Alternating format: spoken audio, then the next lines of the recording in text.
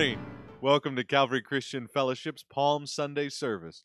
Thank you for joining us this morning. I'm Andrew Paino, and we're so grateful to see all of you who have reached out to us with your prayer requests and praise reports. Please know that we are praying daily for each of you and for the requests that have come in, as well as rejoicing in the good things our great God is still doing in our midst.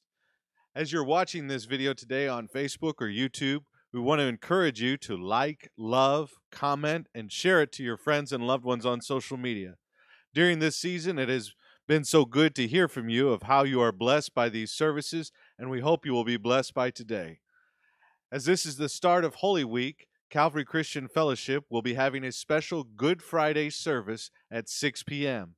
During this service, we will be taking the elements of communion. We hope that you too will join us in taking the elements at your home. We do not believe that this is the literal body of Christ. So if you have bread or grape juice or something which will suffice, we hope you will take part in this symbolic time of communion.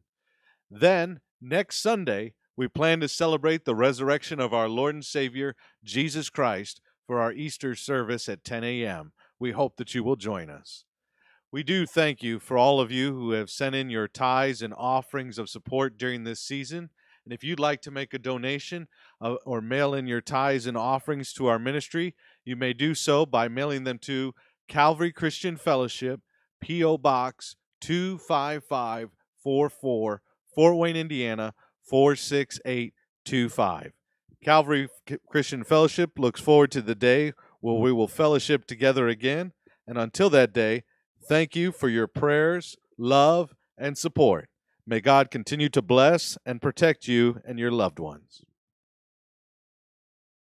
You know, Honey Tree, I've I've interrupted our normal progression on the service or what we do. Hi. I know that you and Andrew usually transition during that announcement time so discreetly, but I've just got something on my heart that I have to unload. Is that all right? Sure. This is this is the month of April, the first Sunday of April, Palm Sunday. But um, did I get some things clear that I didn't understand because I'm not on Facebook, but I had a lot of friends contact me about you from the internet that your spiritual birthday was Friday, April yeah, the 3rd? April 3rd. I was That's- 50 years old in the Lord. Not when you got saved. You, Yeah. you, you, you are 50 years old in the Lord. Yeah. You were how old when you got saved? Seven, no, I wasn't 50. 17. 17. hmm So that means I'm you've served the Lord a long time. well, not only that, but in knowing that it's April, and I, we can't invite Andrew to come join us because that would mess up our being the proper distance apart if he came and stood in between us. Mhm. But he's in the background, and the two of you share something in common, and that is not only your spiritual birthday, but on April 11th, I will be 68 years old. you'll be 68 years old. And, And Andrew's birthday is in April as well? yes, April 20th. We tease the same day that Adolf Hitler was born. So we we don't know if that was a prophetic expression when that happened. No, we, we got to quit picking on him. Yeah, that would be a good idea. but what I want to say is usually at Calvary Christian Fellowship, Andrew will, on this Sunday, the first Sunday of every month, have all the special days, the anniversaries and birthdays, and we celebrate them. And then he sings a song. Mhm. He's been doing it for 14 years, and really, it's a. This is not teasing him. It's a it's a horrible song, and I, we're not we're not going to do it right now. But we want you to know, first of all, we wish you happy spiritual birthday, Thank you. and we wish you happy birthday birthday. May all my And I- dreams come true. May all your dreams come true. But I think it'd be really, really nice. Maybe Ben can put it back up on the screen. I'm sure that your Facebook and people can contact you, but maybe some are watching that wouldn't know any other way to contact you.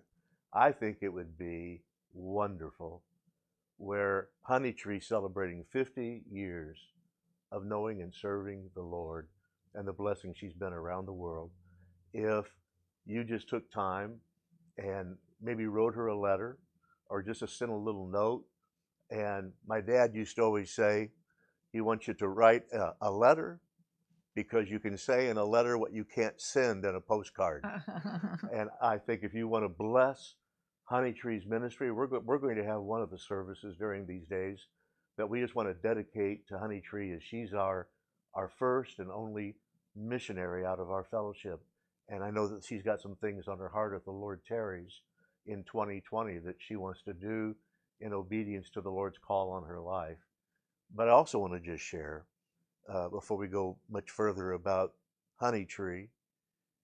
JR, your husband, uh, we've had a little subliminal message Mhm. ever since we started because JR gave me something years ago. It's a little Peanuts character. We won't go through it right now, but I brought it out of the bedroom and and placed it here. It would be over your shoulder. Mhm. And uh, the reason we're mentioning JR is because we wouldn't be doing what we're doing right now if it really wasn't for his vision and Yeah. what he carried for our fellowship and this ministry to put us i think it's been a few years now that we've been five years we've been on uh, youtube and on the internet because of all of the equipment and things that jr paid for and gave to our fellowship Yeah, he was really prophetic about that, wasn't he? He just, well he sure helped us get prepared yeah.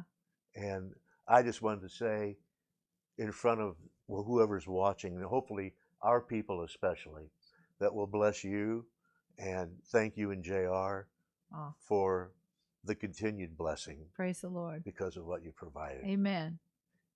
Well, with all of that said, happy birthday to you and to my, my son, Andrew. And will you take us to the Lord in praise and worship, please? Amen. The Lord's our rock, in Him we hide, a shelter in the time of storm. Secure whatever ill betide, a shelter in the time of storm. Oh, Jesus is the rock in a weary land, a weary land, a weary land. Oh, Jesus is the rock in a weary land, a shelter in the time of storm. A shade by day, defense by night, a shelter in the time of storm. No fears, alarm, no foes of fright, a shelter in the time of storm. Oh, Jesus is the rock in a weary land, a weary land, a weary land. Jesus is the rock in a weary land, a shelter in the time of storm. The raging storms may round us beat, a shelter in the time of storm. We'll never leave our safe retreat, a shelter in the time of storm. Oh, Jesus is the rock in a weary land, a weary a weary land. Oh, Jesus is the rock in a weary land, a shelter in the time of storm. O rock divine, O refuge dear, a shelter in the time of storm. Be thou our helper ever near, a shelter in the time of storm. Oh, Jesus is the rock in the weary land, a weary land, a weary land. Oh, Jesus is the rock in a weary land a shelter in the time. Jesus is the rock. Oh, Jesus is the rock in a weary land. A weary land. A weary land. Oh, Jesus is the rock in a weary land. A shelter in the time of storm.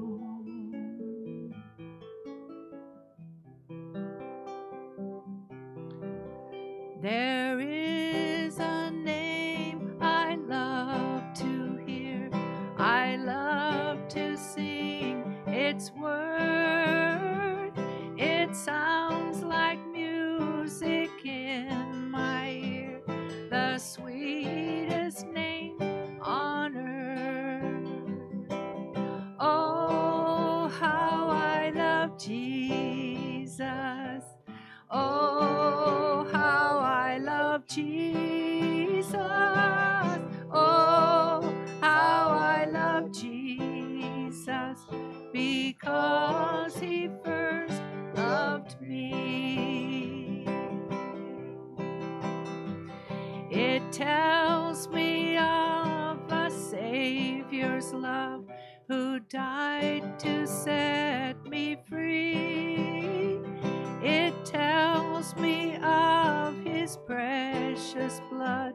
The sinner's perfect plea. Oh, how I love Jesus. Oh, how I love Jesus. Oh, how I love Jesus because he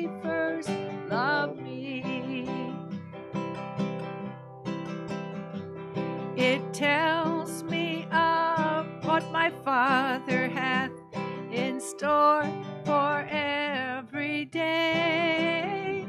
And though I tread a darksome path, yield sunshine all the way. Oh, how I love Jesus. Oh, how I love Jesus.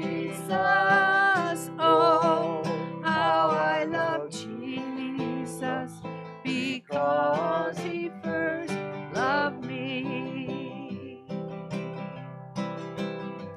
It tells of one whose loving heart can feel my deepest woe, who in each sorrow bears a part that none can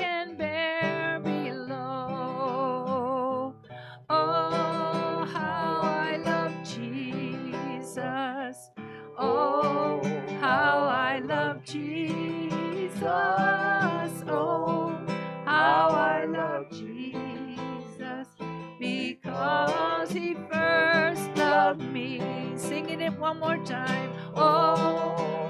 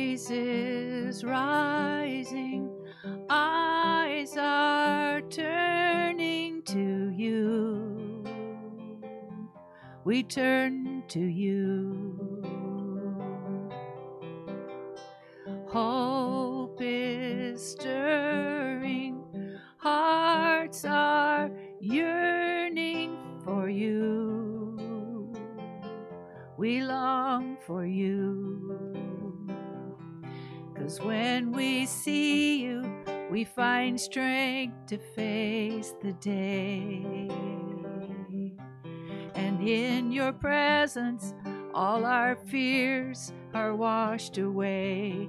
They're washed away. Hosanna, Hosanna.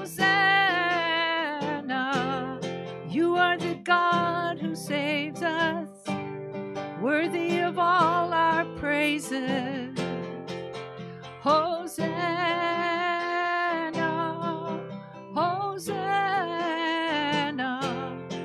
Come have your way among us. We welcome you here, Lord Jesus. Let's sing that chorus again. Maybe you're just learning this one with me. Hosanna. Hosanna. Hosanna. You are the God who saves us, worthy of all our praises. Sing that again. Hosanna.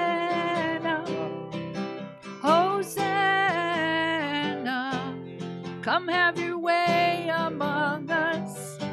We welcome you here, Lord Jesus.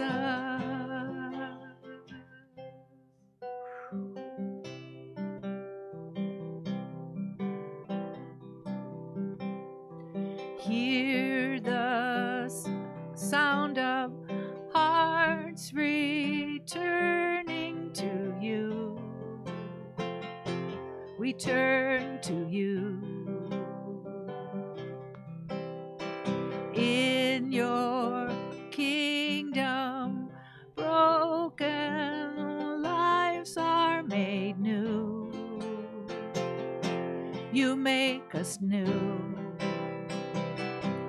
Cause when we see you, we find strength to face the day. And in your presence, all our fears are washed away. They're washed away. Sing Hosanna, Hosanna, Hosanna. You are the God who saves us, of all our praises. Hosanna, Hosanna. Come have your way among us. We welcome you here, Lord Jesus. Sing it again, Hosanna. Hosanna,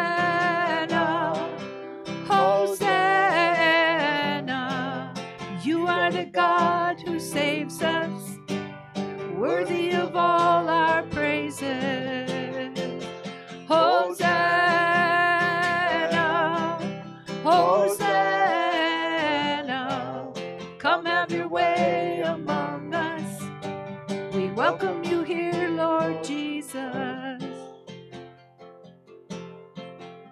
We're going to sing this part because when we see you a couple of times, I think it's so good for what we're going through right now.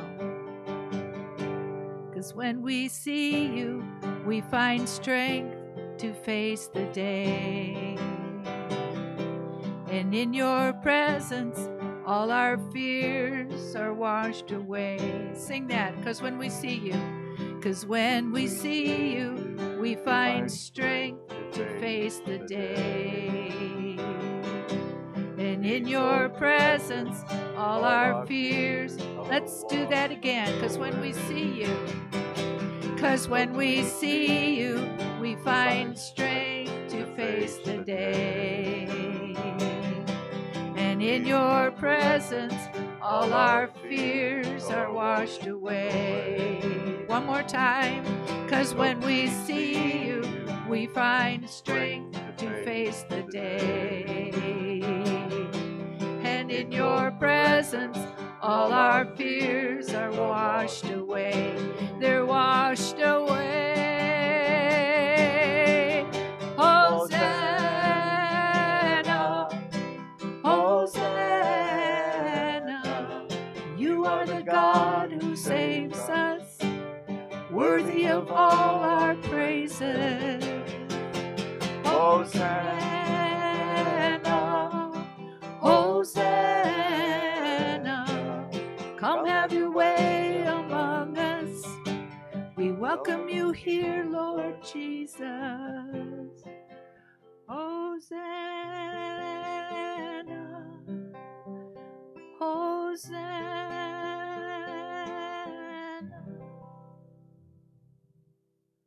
The presence of the Lord is in this place.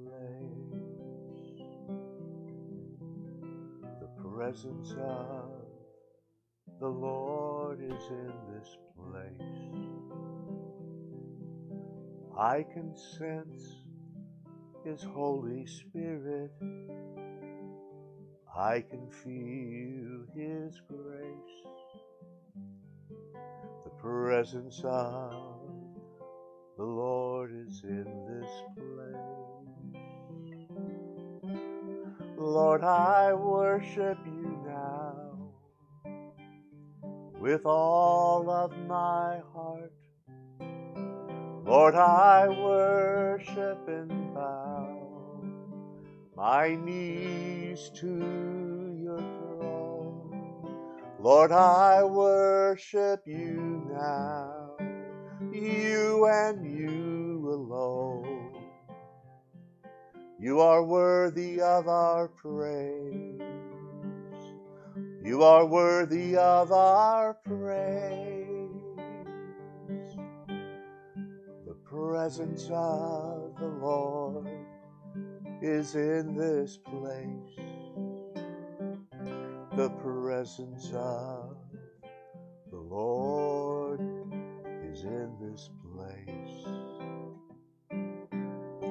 I can sense your Holy Spirit, and I can feel your grace, the presence of the Lord is in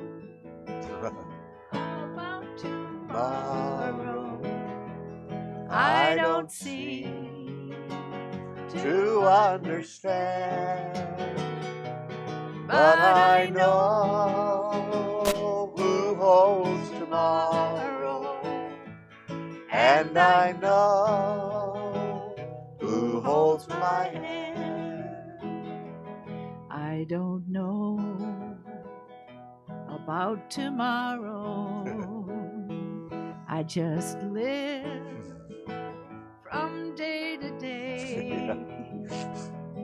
I don't borrow from its sunshine, for its sky may turn to gray. Yeah.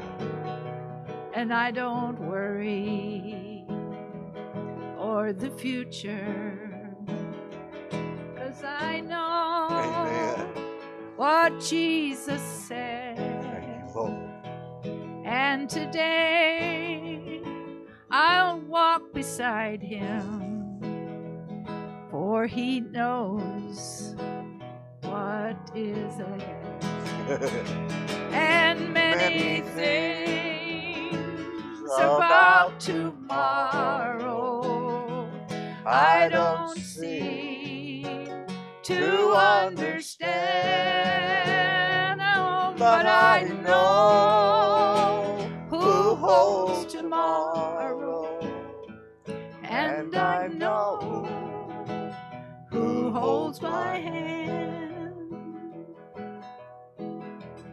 I don't know about tomorrow.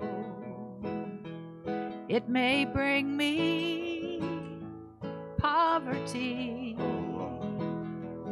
but the one who feeds the sparrow, he's the one who stands by me Praise the Lord. and the path that is my portion. Maybe through the flame or flood, but His presence goes before me, and I'm covered Hallelujah. with his blood and many things. about tomorrow I don't see to understand, but I know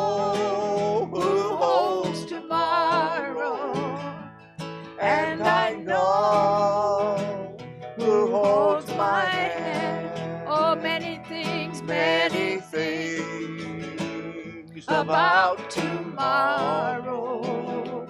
I don't see to understand, but I know who holds tomorrow, and I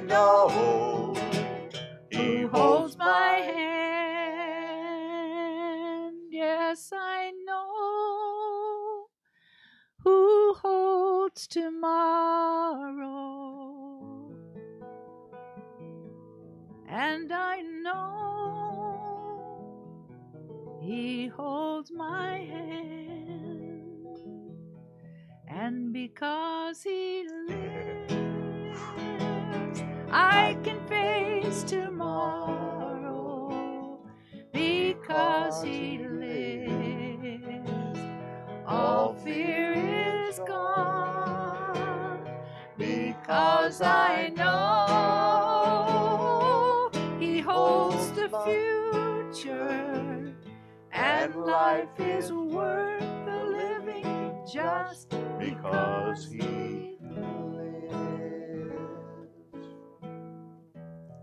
You know what? Because he lives. I've got a mansion just over the hilltop in that bright land where we'll never grow old. And someday yonder we We'll will never more wander, but walk on streets that are pure as gold.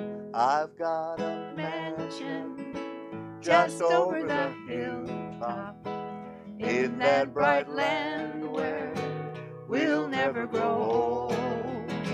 And someday yonder we'll never more wander, but walk the streets that are pure as gold. When we all get to heaven, what a day of rejoicing that will be when we all Jesus. We'll sing and shout the victory.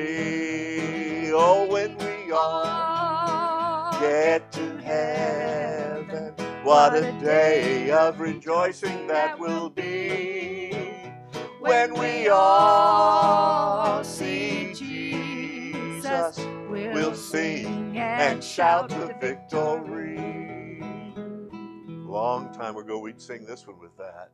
I heard a thousand trumpets sounding out in glory, telling the story how he came to earth to die. I heard a million voices praise the name of Jesus, singing in God's choir in the sky. I heard a thousand trumpets sounding out in glory, telling the story how he came to earth to die. I've heard a million voices praise the name of Jesus, singing in God's choir in the sky.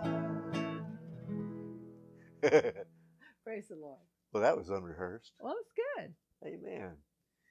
You know, people used to tell me that I ought to take my ministry of song on the road.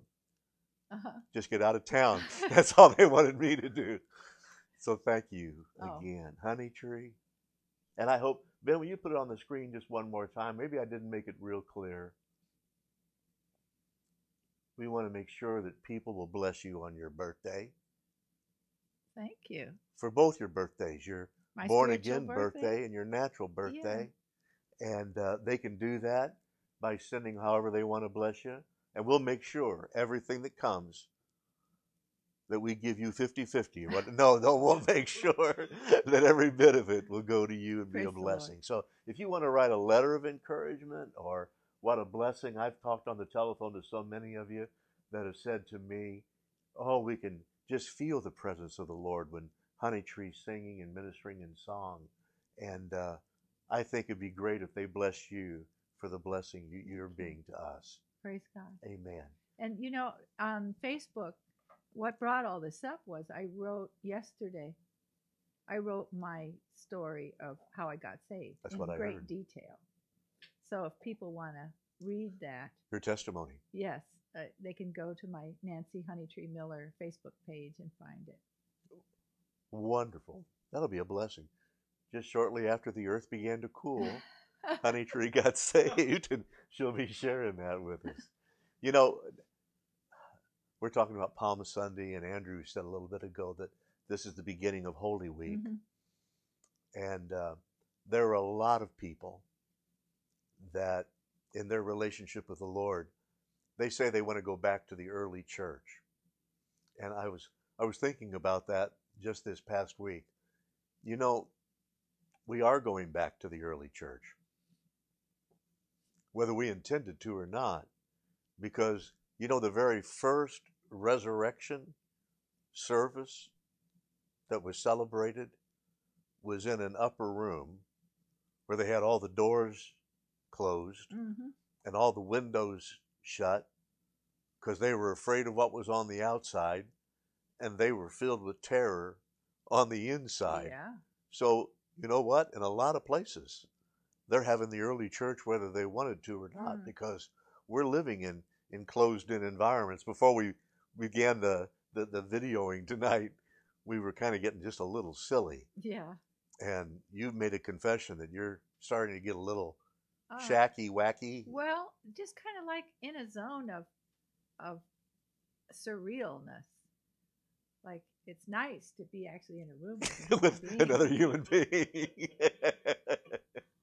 well, you know what? Isn't it a comfort to know, just like in that very first resurrection service, where they were full of fear and concern, that Jesus, the resurrected Savior, manifested himself in that room Hallelujah. and that the first words that he spoke to them were peace.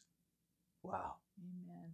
And we're just believing that in whatever circle of ref, uh, uh, of influence that we're able to have now on the internet, since we can't be together, you know what Jesus said? He said, "Where two or three are gathered together in my name, I'm in the midst."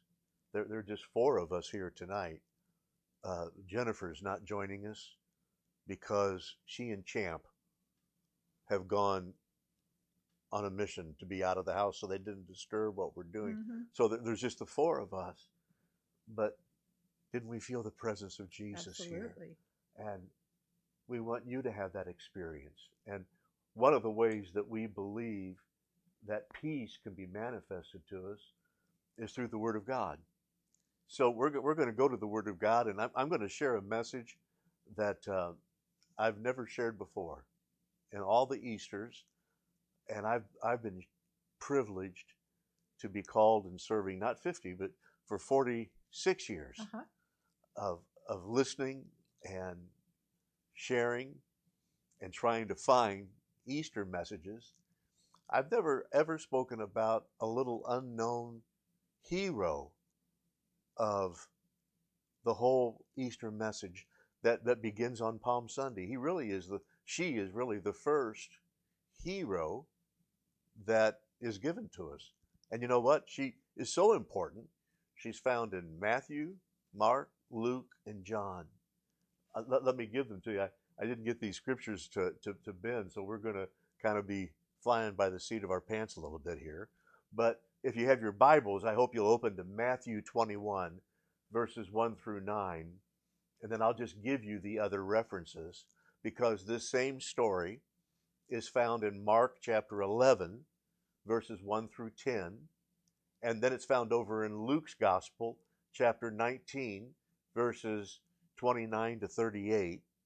And then even John, he gives the account in John chapter 12, verses 12 to 14. And that's the story of what we call the triumphal entry of Jesus into Jerusalem. Mhm.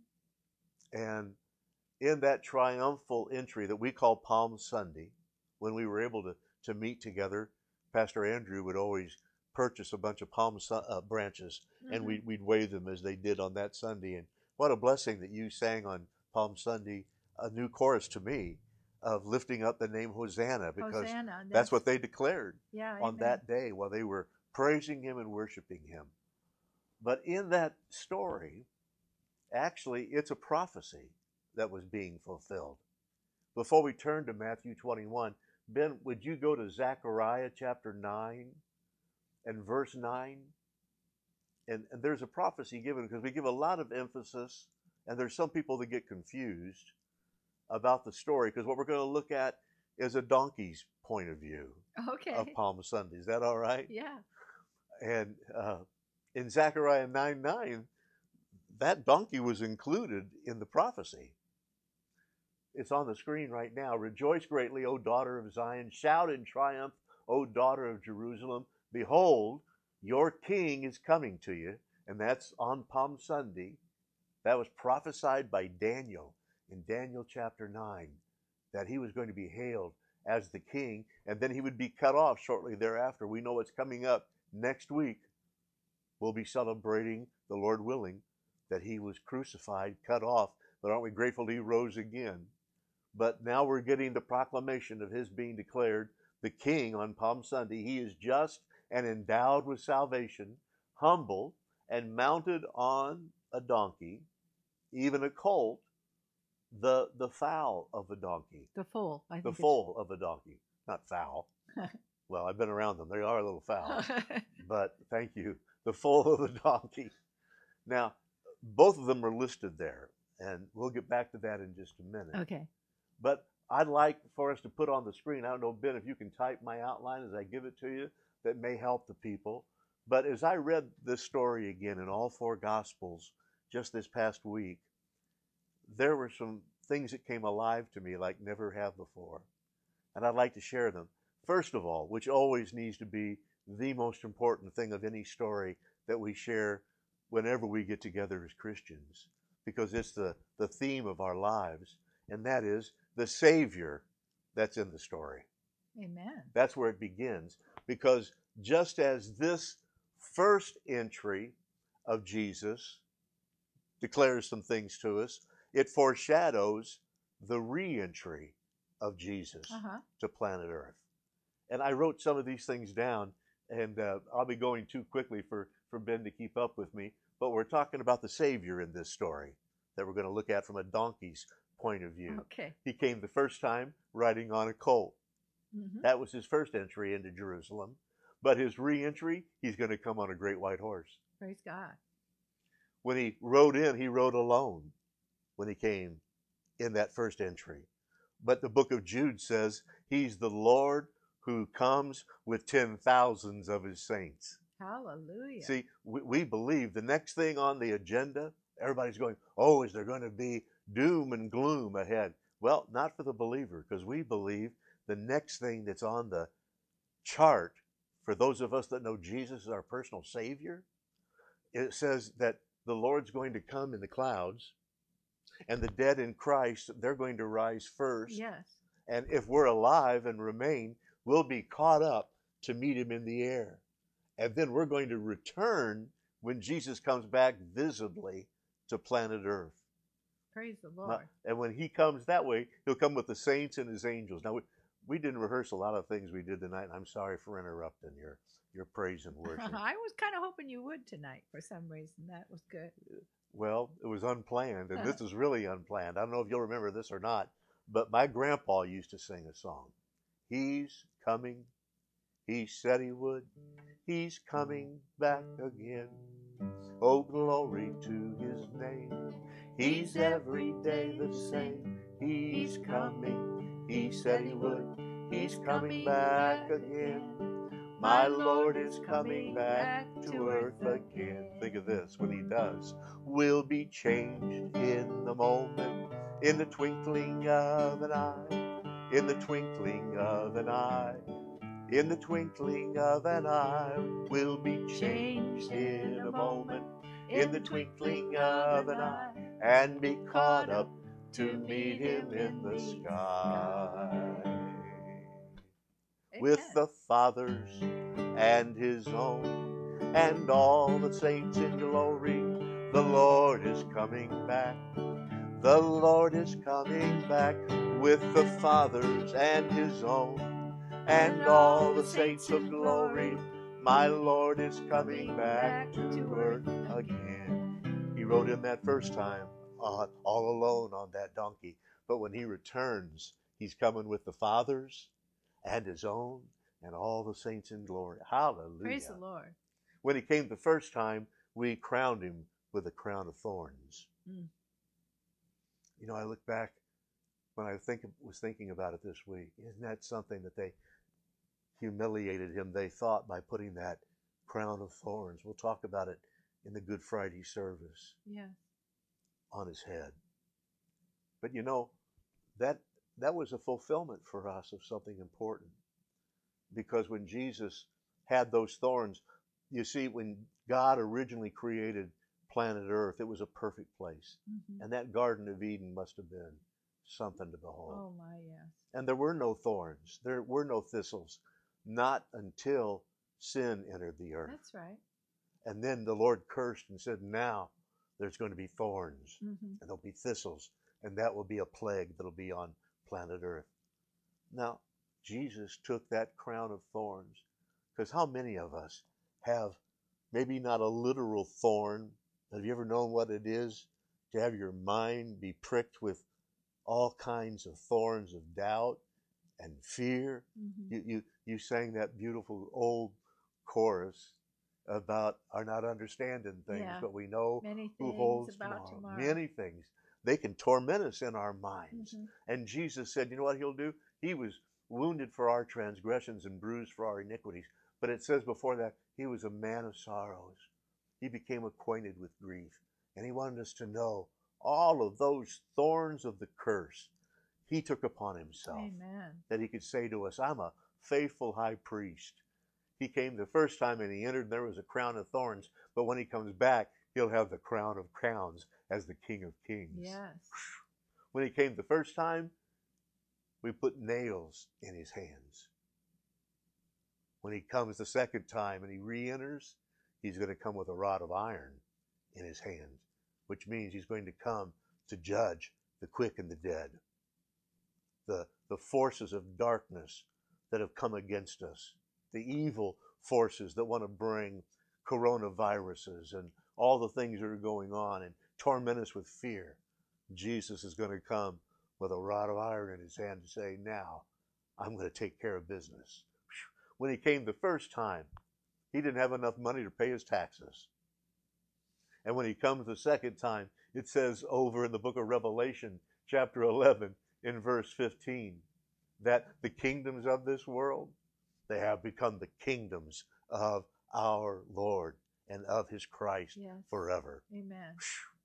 When he came the first time, they mocked him and they all of a sudden jeered at him, crucify him.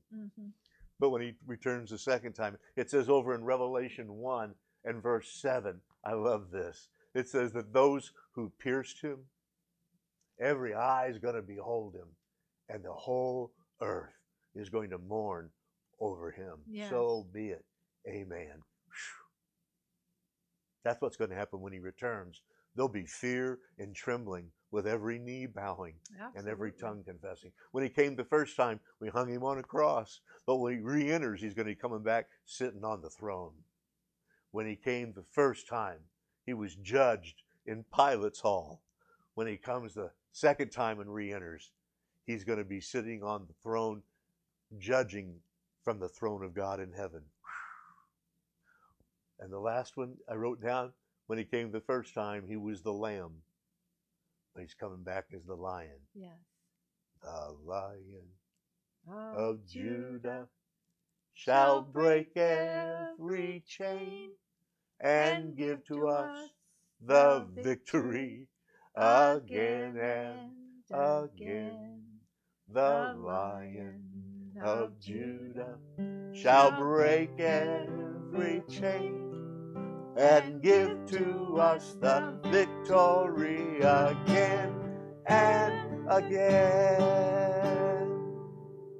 That's the Savior of the story we're getting ready to read. Now, I ask us to get our Bibles ready, and in Matthew 21, I'm going to read Matthew's account very quickly and give you three more of what came out to me as I was reading the story from the donkey's point of view. Okay. All right. And that's not too hard for me because I've had people call me a jackass most of my life, so I shouldn't have too hard of a time having this point of view. It says, When they approached Jerusalem and had come to Bethphage at the Mount of Olives, then Jesus sent two disciples, saying to them, Go into the village opposite you, and immediately you'll find a donkey tied there, and a colt with her, or a fowl, or a foal untie them and bring them to me. If anyone says anything to you, you shall say, The Lord has need of them, and immediately he will send them. This took place to fulfill what was spoken of through the prophet. Now we've already read that, verse 5. Verse 6 says, The disciples went and did just as Jesus had instructed them, and brought the donkey and the colt, and laid their coats on them, and he sat on the colts. Now, we'll come back to that in just a little bit. But a lot of people get confused. Well, one version is going to say he sat on the donkey, and then one is going to say he sat on the coat, colt, and now it says he sat on the coats. Ah, okay. Okay? Well, what took place? Well, you know, at the time of Christ, and when they were writing, when when there would come like a camel train that would be bearing the goods, that they would say whoever was in charge of that camel train was was sitting on that cattle train. Okay? Okay. So apparently this colt wasn't going to be too willing to come without its mother. and so they brought both of them and put their coats on them for the processional, and Jesus sat on the colts. So the declaration that he was sitting on them is fulfilled. That was his train coming into Jerusalem, all right? Now let's go a little further. Verse 8 says, Most of the crowd spread their coats in the road. Boy, you hate to hear a cough going on right now during this time. Terrible. Most of the crowd spread their coats in the road, and others were cutting branches from the trees and spreading, spreading them in the road. And the crowds going ahead of him, and those who followed, were shouting, Hosanna to the Son of David. Blessed is he who comes in the name of the Lord. Hosanna, highest in the heavens. Now, let's take a look at three more things real quickly. We've seen the Savior that's in this story making his triumphal entry the first time, and hallelujah, he's coming back with a re entry. But in this story that we just read, I also want us to take a look at the servants in the story. There, there were two groups that stood out to me. There were, first of all, the disciples that were there. And then it says, along with these disciples that were there, there was also the crowd that was there. Now, these disciples that are along, they're they're praising him, you know, they're, they're the inside crowd, so they probably got a little closer to the donkey than other people that they could ride along there, walk along rather with Jesus in this. But you know what it says about these disciples another week? In another week, they're all going to be gone. They're not going to be crying out, Hosanna. Matter of fact, if Ben, we'll, we'll, we'll put it up on the screen, one of those disciples, Peter, that says, Oh, I'll never deny you. I'll, I'll go with you wherever you're going to go. In Matthew 26, in verse 58. This disciple that's right there, a part of the Hosanna and glory going on. Wow. It says in Matthew 26, 58 that he was following Jesus from a distance. wow. The one that walked side by side with him through Galilee is now following him from a distance. Doesn't that give you a little bit of comfort to know sometimes when there's things going on that we don't understand and maybe we just kind of drift off from following the Lord? Maybe there's even some that are watching now that over the years, maybe they once were a disciple, mm-hmm. following close with the Lord, but tonight they're, they're following at a distance. There's an opportunity right now that they can draw nearer to the Lord. Yes. Ben, would you put up John chapter 19 and verse 38? Because there was a, another one in this crowd that was coming along, following. And, and before I tell it, I love the little story. You know, I mentioned Champ, our dog. Yeah. I heard the story about a, a, a little boy that had his dog, just a mangy old mutt. Okay? And this businessman walked up and saw the little boy with his dog, and he looked at the old dog and he said to that man, the little boy with the dog, dog, well, what kind of dog is that? And he, he looked back and he said, this is a police dog. And the guy said, son, that sure doesn't look like a police dog. And the little boy looked back and said, he's in the Secret Service. you know, there are a lot, of, there are a lot of us in the crowd that follow Jesus, like Joseph of Arimathea. Look what it says about him. After these things, Joseph of Arimathea, being a disciple of Jesus, but a secret one. Wow. You know what I'm I'm hoping will happen in homes all over the place, particularly the homes where we're trying to minister right mm-hmm. now. And that is that that people that maybe have not really stood up boldly for the Lord that they're really realizing these are some troublesome times like we've never ever known before right. in the world, in our country. We're trying to solve things we've never ever been faced with before. And in the middle of doing that, maybe like Jesus in that upper room that we talked about after the resurrection, when he said, Peace be unto you. You know what he put at the end of that conversation? He said one more time, Now my peace I leave with you, and as the Father hath sent me, so send I you. When they were to leave that room, when they could finally open the doors and get out, yeah. they were to leave there as witnesses because Jesus said, You'll receive power. He didn't want us to be secret disciples mm-hmm. following at a distance. Those were the servants that were in this story. Number three, there were sinners in the story.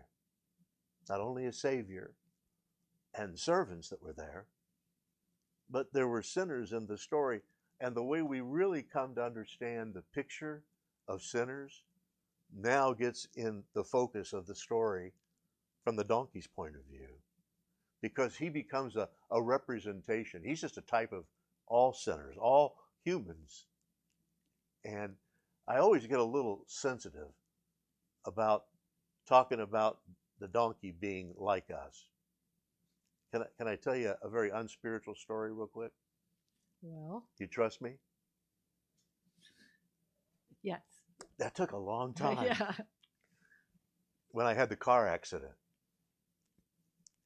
uh, my secretary and I were riding up to Angola, where our, our campgrounds was at that time. hmm And without going through all the details, there was a horrible series of accidents that were all there at that time. And all the hospitals in this tri state area were filled up. I was initially taken to the Cameron Hospital, and then they transported me to the St. Joe Hospital here in Fort Wayne.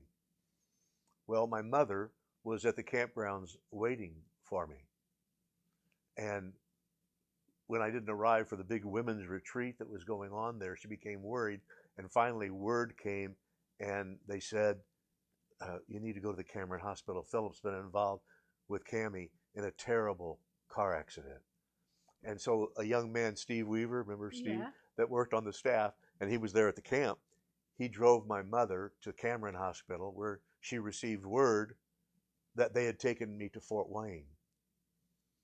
And in transporting me to Fort Wayne, um, they had to come down the back roads because Yeah. I sixty nine was all- shut off. yeah. Well, Steve was nervous driving my mother, you can imagine, Mhm. not knowing what's going on. And in tr- the transit, they got lost in the back roads between Angola and Oh, Fort dear. Wayne. And he wanted to comfort my mother, and he'd ministered at the camp with me, and he knew my favorite verse. My favorite verse, we'll talk about it more in just a minute, but in Jeremiah 29, verse 11, God says, I know the thoughts I have for you, and they're good, not for calamity. I'll give you a future and a hope. Yes. That's a great verse, That's right? wonderful. That's that's my favorite portion of scripture. Mhm. But Steve, in the pressure of the moment, clutched. Okay.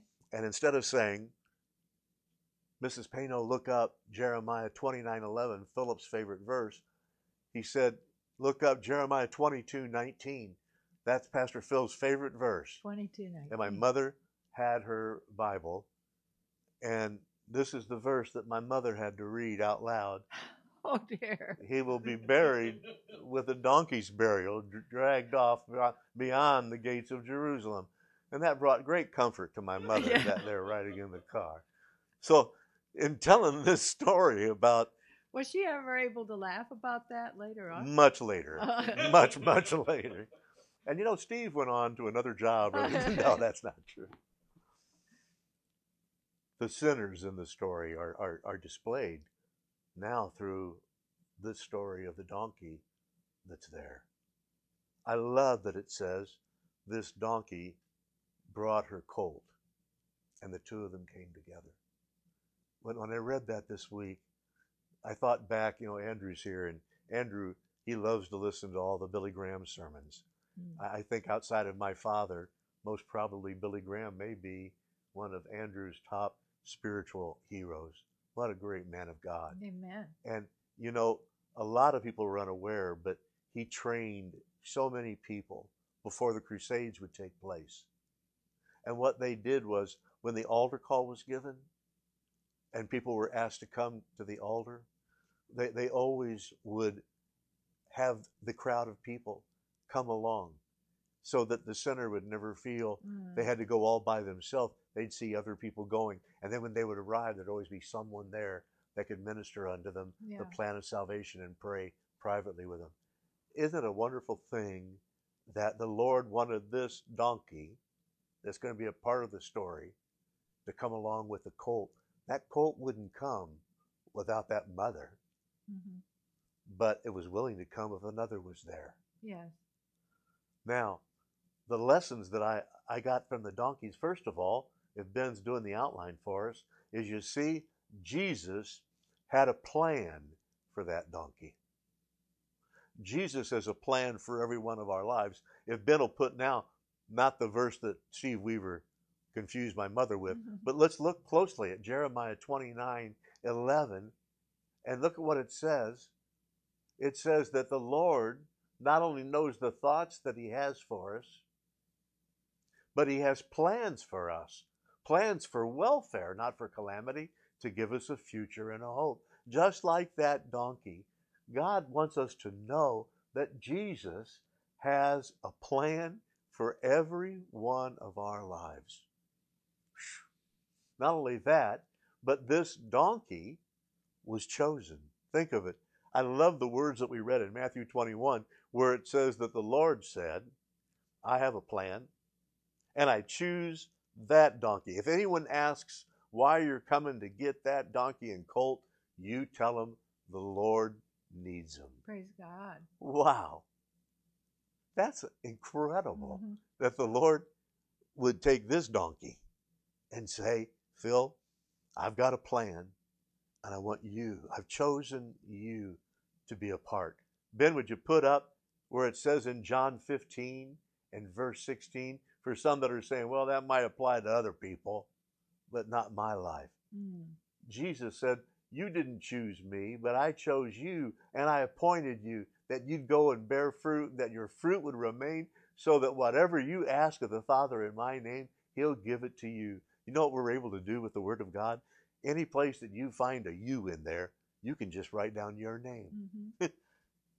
You, Phil Paino, didn't choose me. You, Honeytree, I chose to be my instrument. Amen. Wow. Thank you, Lord. He has a plan. He's chosen us. And then look, it says that they put their garments, they put their coats on top of that donkey and colt. Now, why is that important? Well, the, the, the Word of God says, and Ben, if you'll get ready, we, we won't turn right now, but it says in Ephesians 4, verses 22 to 24, what I want to look at, and then be ready for Galatians 3:27. All right, and, and we'll go there in just a minute. But the, the, the Word of God says that before we know Jesus, accept Him as our Savior, that we um, have our righteousness, uh, our what makes us right before God. hmm And you know what the Lord says it is? It's like filthy rags. Yeah. Wow. Because we've all sinned and come short of God's glory.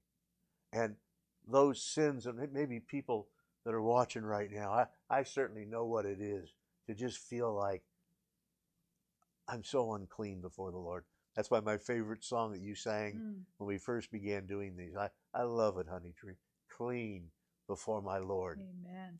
See, Ephesians 4, verses 22 to 24 says that in reference to your former manner of life, that we can lay aside the old self, which is being corrupted in accordance with the lust of deceit, and that you can be renewed in the spirit of your mind and put on the new self, which is in the likeness of God, that's been created in righteousness and the holiness of the truth.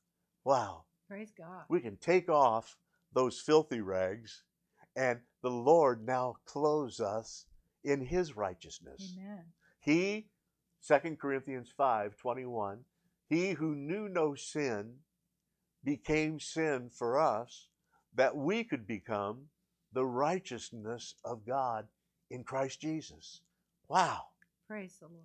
You know, I don't know where these are all coming from, but we used to sing a song down around the altar where people would come to get saved. Uh huh. And it, we, a lot of times we had a service called the evangelistic service, and that was on Sunday night. hmm And a, a lot of people would come in from the outside and they'd hear the word that Dad was preaching. And when the altar call was given, they'd come down to the altar. Yeah. And then we'd have a, a tarrying service. hmm After, after church was done, we'd have an afterglow service. hmm And sometimes my dad would burst into a song that would say this The windows of heaven are open, the blessings are falling tonight. There's joy, joy, joy in my heart, for Jesus made everything right. I gave him my old tattered garments. He gave me a robe of pure white. I'm feasting on manna from heaven, and that's why I'm happy tonight. I finally found where you are. You want to do it again? Sure. The windows of heaven are open. The blessings are falling tonight. There's joy, joy, joy in my heart, for Jesus made everything right. I gave him my old tattered garments. He gave me a robe of pure white. I'm feasting on manna from heaven, and that's why I'm happy tonight. I love mm. that one. Yeah. Wow. He had coats put on him that he'd never had before. He represents us as sinners that we can come to Jesus and have that experience. But not only that, but you know what? The donkey went wherever the Lord led him. Doesn't tell us that there was somebody out in front pulling that donkey that can be stubborn. Somehow that donkey just knew with Jesus on him, he could be led where he needed to go. Isn't it a comfort to know that all of a sudden, are you ready for this one? Okay. These are just coming. I love it. The Lord knows the way through the wilderness. And all we have to do is follow. The Lord knows the way through the wilderness. And all we have to do is follow. Because there's strength for today. And it's mine all the way. And all that I need for tomorrow. The Lord knows the way through the wilderness. All I have to do is follow. That old donkey, the Lord led him, Amen. and he went wherever he would go. Wow. But the most important thing that came alive to me is you see, we've talked about uh, the Savior of the story, and we talked about the servants in the story and this sinner in the story. But there's salvation in the story because that's the most important part of everything we're talking about Mhm. is that people not only just hear this story, but they realize their salvation. You see how we know that is because that donkey made Jesus visible when those coats were put over him, Mhm. all of a sudden he went into obscurity. Yeah. He was lifting Jesus up. You Mhm. didn't hear people going, Hail Jesus, and by the way, ain't that a great looking donkey that's coming on there? You don't hear the donkey being referred to at all. You know, John the Baptist, Jesus' cousin, when John the Baptist saw Jesus, he said, Behold, he must increase, but I must decrease. There's something about us when we meet Jesus, when we're saved. You know, Nancy, I've been listening to your story for 50 years, Mhm. and I, I never, ever get weary of listening to you share because I, I watch you and I listen to you and I've gotten to know you, I think, a little bit. Mhm. You're just as excited today. I, I'm still a Jesus freak. You're all. still a, a Jesus freak. Uh-huh. Yeah, well, I, not everybody knows what that meant from 50 years ago, Uh-huh. but you're still in love with him. Amen. I'm loving him more every day. Loving him more every day. The more that I know you, I want to show you I'm loving you more every day. I'm loving you more every day. I'm loving you more every day. The more that I know you, I want to show you I'm loving you every day. This donkey was once tied up, but when Jesus came, that's what salvation does. Jesus said, when you find that donkey tied up, untie him. Mm-hmm. You know, you knew what it was to be tied up in a lot of things hmm 50 years ago. Yeah.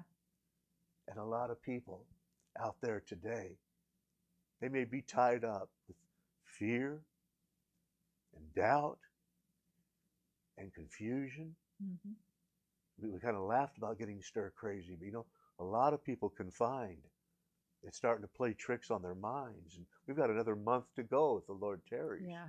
of facing them. The Lord, when He comes and brings salvation, He unties us and sets us free. That's why it says in John chapter 8, whom the Son sets free, He's free indeed. Yeah. Not only that, but it says, you know what, in Mark chapter 11, chap, verse 2, that this donkey and, and colt, they, they were untamed. That colt was untamed. No one ever sat on him before. That's right. Yeah. Wow. You know what? Weren't we all just rebels? hmm The Lord, in His Word, says, All we like sheep have gone astray. I've even known what it is since I've been a believer to, to go astray. That's why it says that our Lord's the good shepherd. He's got a rod and He has a staff, Yeah. and they comfort us. You know what that, that rod's for? Well, it goes along with the staff because when the sheep maybe drifts off where it shouldn't be, he can take that staff and pull him out from where he wasn't supposed to be. Mhm. But then the Lord's got a rod and bangs it and lets him know, now don't do that Uh-huh. anymore. Now, whom he loves, he chastens because Yes. he, he wants to make sure that we not only know him as our Savior, but we make him Lord in our lives. Mhm. He wants to be Lord over those things where there were other areas that were untamed. Ben, ben, would you put up? I love Mark's account of this story because it says that the donkey in Mark 11, verse 4, not only that, but he was out. Look at this. They found the colt tied at the Huh. door outside in the street. Uh-huh. You know, I know I, I meet people all the time. They just feel like they're square pegs in round holes. They're just going through life feeling like they're on the outside looking in. hmm Maybe they were rejected with mom and dad. Maybe they not only were, were, were, were rejected, but they, they grew up and they, they had an inferiority complex, feeling like they, they never fit in anywhere. Isn't it wonderful that we can, all of a sudden, when we get saved, we become a part of a new family? Yes. And all of a sudden, instead of feeling like we're on the outside, that colt, he was brought on the inside. hmm It says over in Ephesians chapter 1 that we're accepted in the beloved. Wow. So beautiful. What a wonderful thing to know I'm accepted. Yes. Not only that, but in Mark chapter 11 and verse 1, it says, This donkey was found where they were approaching Jerusalem at, and look carefully, Bethphage and Bethany. You know what that means? Mm-mm. This donkey was found at the place of crossroads between Bethphage Oh, okay. and Bethany. That's where they're going to find this donkey that's going to be there. And the colt. That's where people are right now. Maybe there are some that tuned in by accident and, and they just have stayed long enough to say, I want to see if that lady with that guitar can keep nailing every one of those keys that that guy's singing in. And, and, and, and in watching it, you know what? They become aware that they too are sinners. hmm They need a Savior. And in need of a Savior, they're at the crossroads. Because now, once they've heard it, they'll never be at this place maybe again. This may be the last opportunity where they're at the crossroads of going the way they've been going or changing the direction and saying, I'll accept Jesus. That's what repent we say repentance, Repentance isn't all about tears and having to go to an altar and have a bunch of emotional. You know what? Repentance says, I was going this direction, but now I've had a change of heart and I'm going to go this direction. Mhm. The donkey was loosed, tamed on the inside, because at the crossroads he changed direction. And that's because last time we just leave Mark 11 and go to verse 4, Ben. This jumped off the page to me. They went away and they found a colt tied where, Honeytree? At the door. tied at the door. In John chapter 10, in verse 9, Jesus said, I'm the door. Wow, he's the door. That's why in the book of Revelation that we're studying on Wednesday nights, it says John looked up in heaven and he saw a door opened in heaven. Wow. Hallelujah. Jesus is where that donkey was. Right now, think of it. We don't have to meet in a church. Oh, I know there's some all upset and all worried about. Now, I, we need to get back to church because the Lord says, "Don't forsake the assembling of yourselves." Yes. But we're, we're not forsaking it right now, just just for a season. We're as the church, I hope, but we're we're being gracious and saying we, we don't want to be a part of the problem. We want to be a part of the solution. So we'll stay in our homes. And, and I believe that, that while we're here, there's an opportunity that's coming like never before Mhm. because people are tuning in. And you know what they're getting a chance to do? Just like that colt tied at the door. Right now, you're at the door. Jesus is there. Not only that, he's at the door of your heart. And he says he's knocking. And if anybody will open, he'll come in and he'll sup with you. Wow. Praise God. The view of Palm Sunday from the donkey's point of view. I hope everybody got them because there's a wonderful Savior in the story. And there are servants in the story that sinners were brought out through the story in the donkey that had salvation in this story. And that's what Jesus wants of for everybody. We hope that we've lifted Jesus up in this time with you. There's another chorus, if I could sing it. It just has come to my heart uh-huh. that I hope that we do every time we're together because he gives a promise that we're going to share just before we close. Can you help me do it, Honeytree? Jesus, name above all names, beautiful Savior, glorious Lord, Emmanuel, God is with us blessed Redeemer, living Word. His name is Jesus, the name above all names, beautiful Savior, glorious Lord, Emmanuel means God is with us blessed Redeemer, living Word. Jesus said, If I be lifted up, I'll draw all men unto me. If you've listened today and you've heard about a Jesus and you'd love for him to come into your life and you want to open the door of your heart, He'll set you free and untie you. And you know what? The restlessness in your heart, in your mind, He'll tame it for you. Give you a peace that passes understanding. Not only that, but instead of being an outsider, He'll put you on the inside of the family of God. And along with that, you can change direction. Old things passed away, all things become new. He said, If he be lifted up, he'll draw all men unto him. And that's what we've sought to do today. Father, I pray for whoever is watching right now that wants to accept your Son as their Savior and be saved right now where they are. That, Father, you'll let them know that if they'll believe in their heart and confess with their mouth that Jesus died for their sin, rose from the grave victorious to declare their salvation if they'll only believe in the name of Jesus. For there's salvation in no other name given under heaven among men other than Jesus, whereby we can be saved.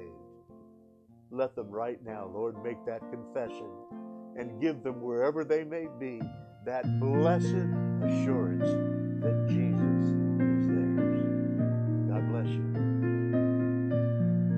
Thank you for tuning in to Calvary Christian Fellowship's Palm Sunday service. We hope that you will join us Wednesday night at 6:30 for our Bible study and be back also Good Friday at 6 p.m. and then next Sunday for our Easter service at 10 a.m. Also, if you want to be a blessing with your tithes and your offerings to this ministry, you may mail it to Calvary Christian Fellowship, P.O. Box 25544, Fort Wayne, Indiana 46825.